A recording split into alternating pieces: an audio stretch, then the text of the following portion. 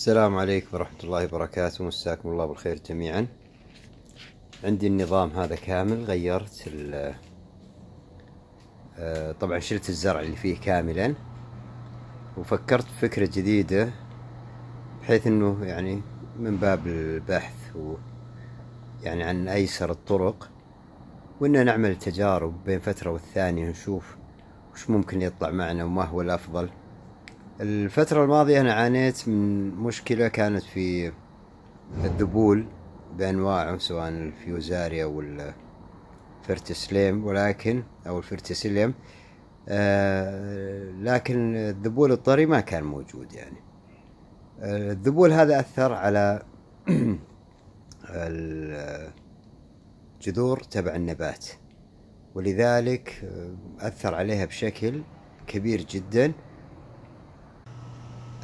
آثار الذبول هذه استمرت يعني حتى بعض النباتات جزء منها متبقي مثل الطماطم هذه لا زالت متأثرة بالذبول.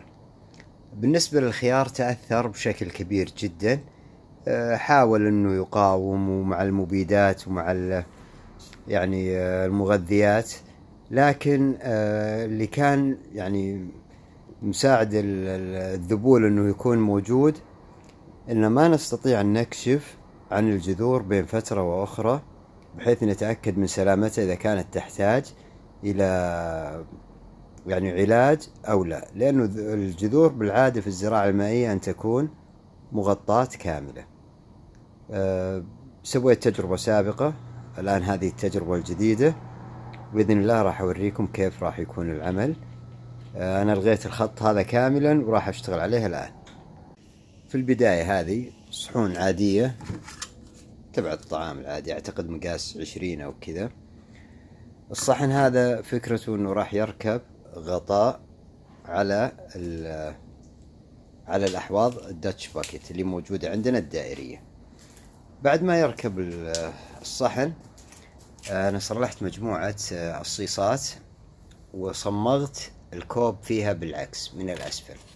يعني هذا الكوب راح يكون بالشكل هذا. وراح نركبه زي ما ركبنا المجموعة اللي هنا. تمام؟ الكوب هذا راح يلامس الأرض.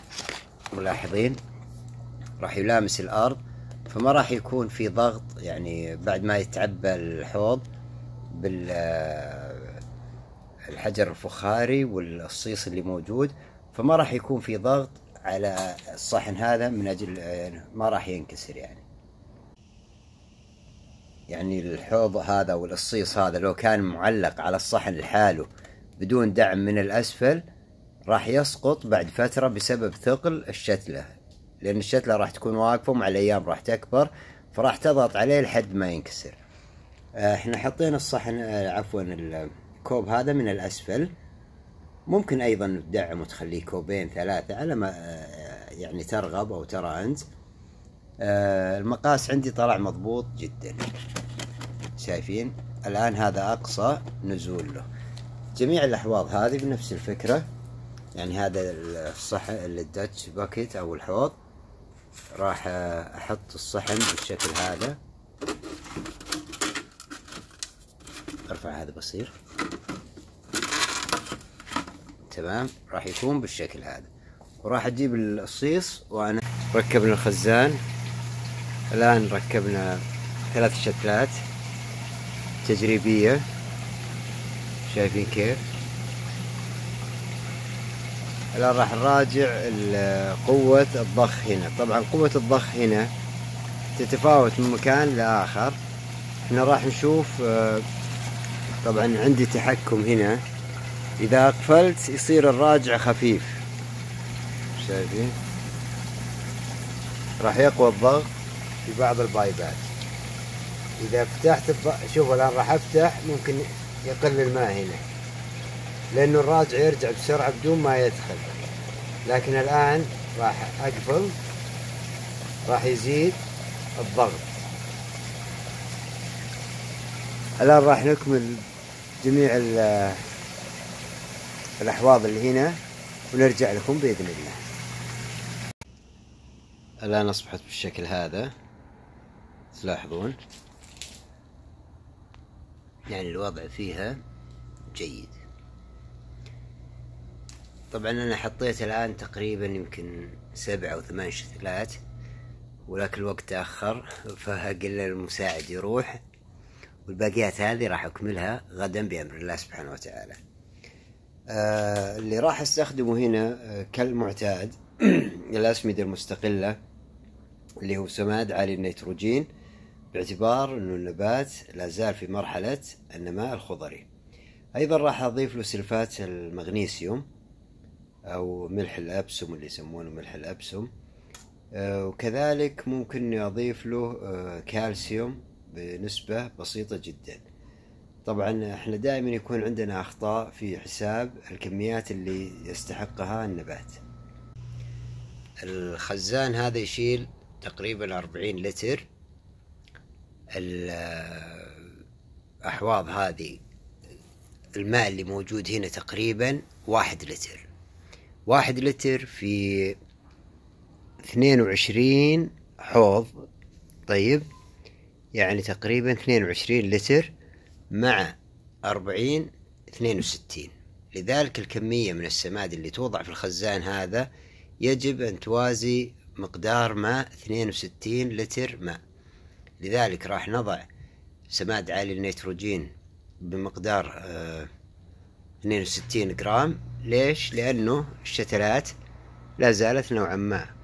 يعني ولو وضعنا 2 جرام لكل واحد لتر طبعا الأمر هذا إحنا دائما نتكلم فيه إنه له علاقة بمرحلة النمو. يعني الشتلة اللي مثل هذه ممكن أن تأخذ واحد جرام مع واحد لتر ماء. لو كانت أكبر شوي ممكن اثنين جرام مع لتر ماء ممكن ثلاثة جرام مع لتر ماء على حسب مرحلة النمو. كل ما كبرت أكثر كانت تستحق سماد أكبر. المسألة طبعا تقديرية وأعرف الناس بالنبات هو أنت. تعرف وش أعطيته أسمدة سابقة وكذا مدى استجابته. لذلك الخزان هذا راح نحط فيه 62 آه سماد عالي النيتروجين مع العناصر الصغرى وعشرة جرام سلفات المغنيسيوم وأيضا عشرة جرام كالسيوم. علشان يغطي المسار هذا كاملا اللي فيه 22 حوض تقريبا. الآن راح نضع سماد عالي النيتروجين. وقلنا أن نحتاج منه تقريبا 62 طبعا المجموع كاملا يفترض أن يكون 62 كاملا. من السماد عالي النيتروجين وأيضا من الكالسيوم من سلفات المغنيسيوم أنه يصبح المجموع العام 62 إحنا قلنا راح نضع عشرة سلفات المغنيسيوم وعشرة أيضا كالسيوم. طيب إحنا الآن كم وصلنا؟ سبعة وستين. ما يمنع. عفوا سبعة وخمسين. ما يمنع نزلنا خمسين. آه راح نحط الكمية هذه الآن آه في ماء ونرجها بشكل جيد.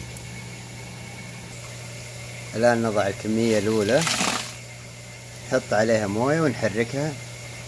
طبعا الكمية هذه يفترض أن ترج بشكل جيد وتضاف للخزان وبعدها راح ناخذ سلفات المغنيسيوم أو ملح الأبسم راح ناخذ عشرة جرام ونفس الطريقة نضعه هنا نحط عليه ماء ونحله بشكل جيد لحد ما يذوب ونضيفه للخزان وبعده راح ناخذ الكالسيوم.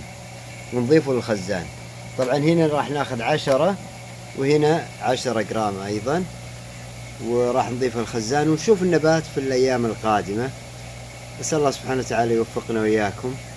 جميع ما يعمل هنا هو تجارب البحث عن الأفضل. ما نبغى نعتمد على طريقة واحدة فقط ولا بد أنه باستمرار إحنا نواصل البحث ونشوف الطريقة هذه سواء عندي أو عندكم أو عند الآخرين ونستفيد. السلام عليكم ورحمة الله وبركاته.